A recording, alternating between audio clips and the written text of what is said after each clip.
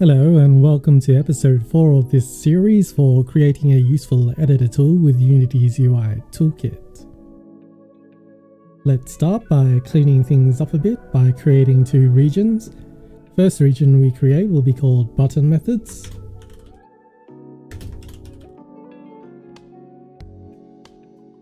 And that will be encapsulating this create texture and export image method.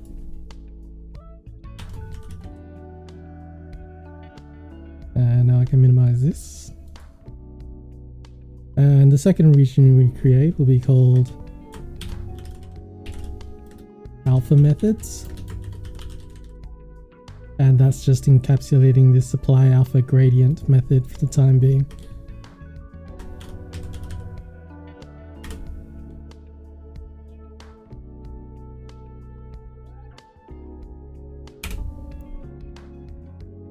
So we'll be looking at our event callbacks today. Firstly, we'll just call the apply alpha gradient method in here and in here.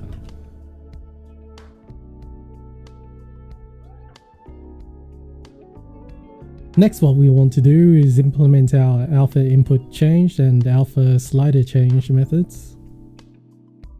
So back in Unity, if I open up our alpha editor, what I want to happen is when I move this slider around, the number should change in this input field here.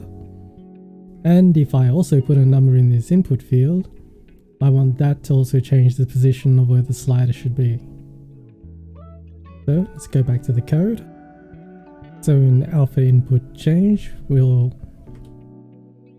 use alpha slider dot set value without notify and we'll make that to evt dot new value. And we'll do something similar with the alpha slider change where instead we're using alpha input dot set value without notify and we'll change that to event dot new value. Since they both have registered value change callbacks, we are using set value without notify, so they don't notify each other to keep on calling back to each other. And then we'll also paste this apply alpha gradient method underneath both of these too. So let's save this and go back into Unity.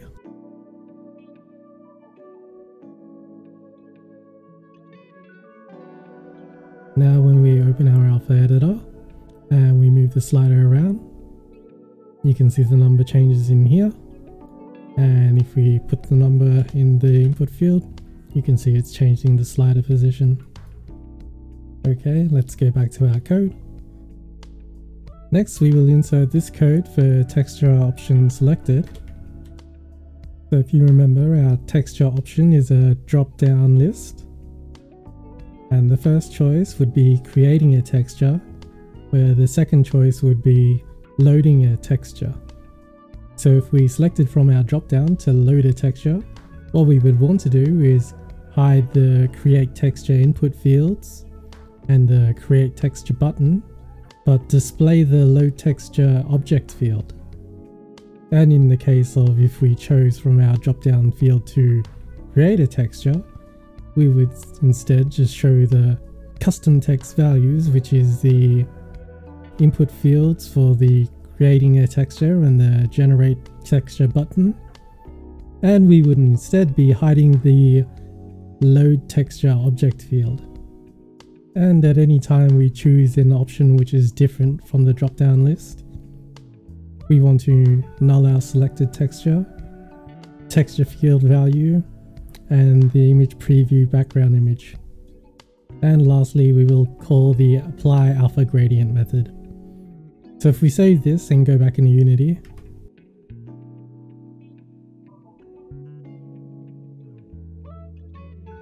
and we open our editor tool.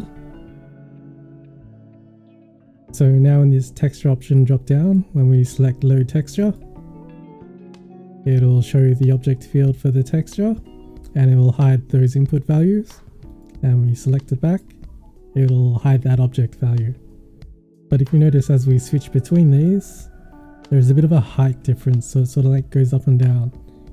So what we'll do is we'll go into our UI builder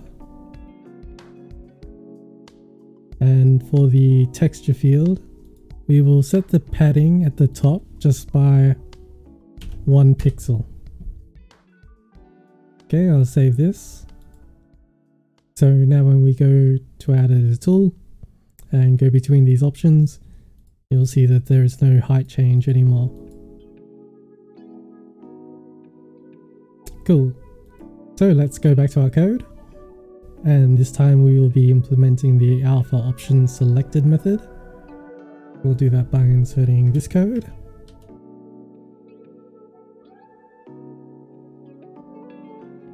So this is similar to the other method where we change what we're going to be hiding and displaying when we choose an option from the drop-down method. So our first option in the alpha drop-down menu is alpha whole and all the subsequent options in the alpha drop-down menu are gradient related. So we only want to show the alpha slider when the top option is selected. But when we choose any option but the top option, we will instead hide the slider and show the gradient field instead. And lastly, we'll also make a call to apply alpha gradient. So let's say this, and let's go back into Unity. So when we open our editor this time, and we choose between alpha whole and any of these other options, it'll show a gradient. And alpha whole, it will just show the slider. And yet again, when we choose between these, you can see like there's this size difference between some of the elements. So we'll fix this by going into gradient field and we will set the padding at the top to 3 and save this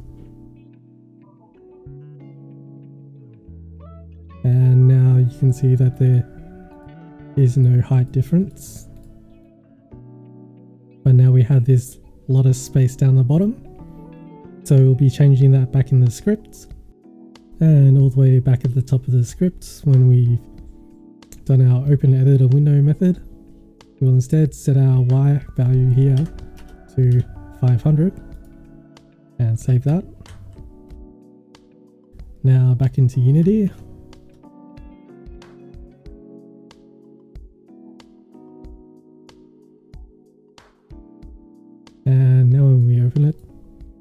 can see it has shrunk down and everything is now flush. Nice. Go back to our script. And lastly, we will be updating this texture selected method. First, we'll start by inserting this code. And what is implied by this is if our object field has been set to null, or in terms of the editor, if we have selected none as the texture, we will assign null to selected texture and we will also null the background image of the image preview and exit out of this method. Otherwise, we are assigning the output name to be whatever the texture name is, plus we're appending adjusted to the end of it. And then we are also assigning the, the texture we have assigned through the object field to be selected texture. Next we'll be refactoring a method we previously created. Top, in create texture we will be refactoring this section here. So we'll highlight all this and right click and choose refactor extract extract method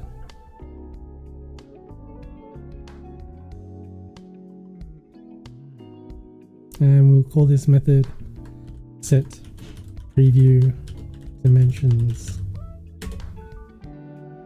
So the two parameters we have for set preview methods is going to be a width and a height. So if we go all the way back down to our method, and texture selected, we will call set preview dimensions and we are going to set the first parameter to selected texture dot width and selected texture dot height for the second parameter. And after that we'll also call apply alpha gradient. So save this and we'll go into unity to check this out so if we open up our editor, you can just test this on any images you might have. Just import it into the project. I'll go to load texture and just test it out on these two. We have this one. That nice. And this one. So you can see that everything now fits within this preview image dimensions and it just scales accordingly. Excellent. And if we also press export texture, you'll see that the word adjusted has been appended to the original name of the texture, which is this red free YouTube subscribe transparent button icon. So I'll just save that in assets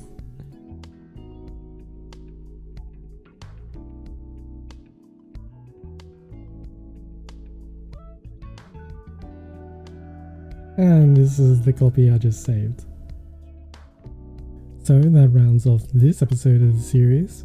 In the next episode, we'll be working with our compute shader. So I will see you then. Peace.